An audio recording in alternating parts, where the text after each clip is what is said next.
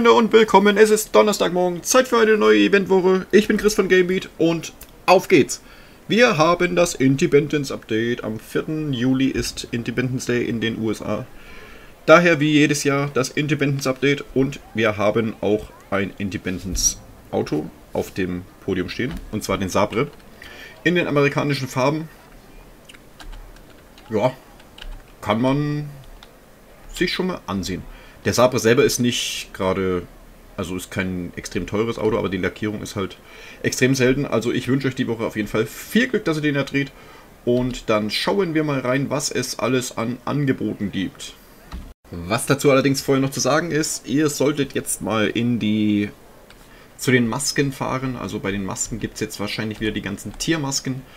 Ähm, die gibt es ja nur zum Independence Day. Ähm, wer so gerne eine Tiermaske hätte, also Wolf und was es da nicht alles gibt, diese Schweinemasken und und und, das gibt es alles nur zum Independence Day, äh, zu, diesem, zu dieser Independence Woche.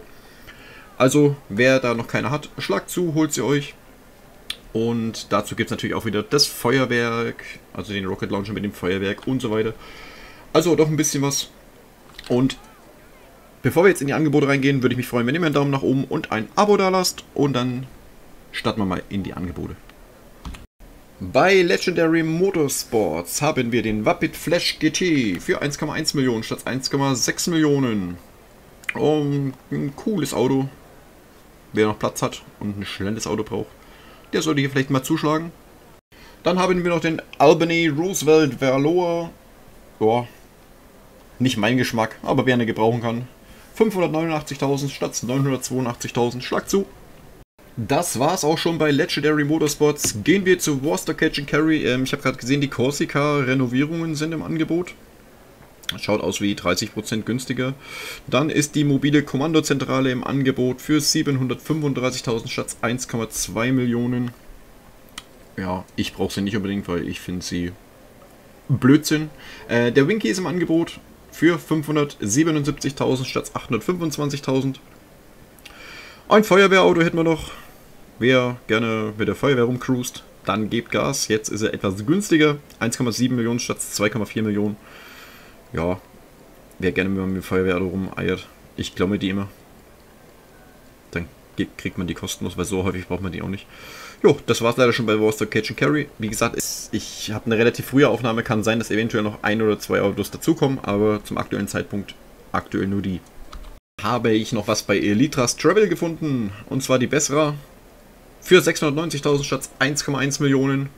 Wer noch einen Jet braucht oder gern Jet fliegt, dann kostet er nur fast die Hälfte. Dann schlagt mal zu. Und dann noch etwas weiter runter gescrollt haben wir noch den Annihilator im Angebot für 1.095.000 statt 1,8 Millionen. Und die Titan kann man sich auch noch günstiger kaufen, sind ja, 40% so roundabout. Also wer gerne mit Flugzeugen unterwegs ist, die Woche könnte ein bisschen günstiger rankommen. Und dann haben wir bei Southern San Andreas Super Autos noch die Denka Veto Classic im Angebot für 626.000 statt 895.000. Also wer gern Kokot fährt, 20%. Schlag zu. Und das war's auch die Woche schon von den Angeboten der Autos. Schauen wir noch, wo ihr noch Geld verdienen könnt. Zusätzlich im Angebot haben wir die Woche noch die Bunker. Die sind um 50% günstiger. Also wer noch keinen Bunker hat, schlagt die Woche zu lohnt sich das auf jeden Fall, denn die sind schon relativ teuer. Und für 50% Rabatt kann man da schon mal zuschlagen.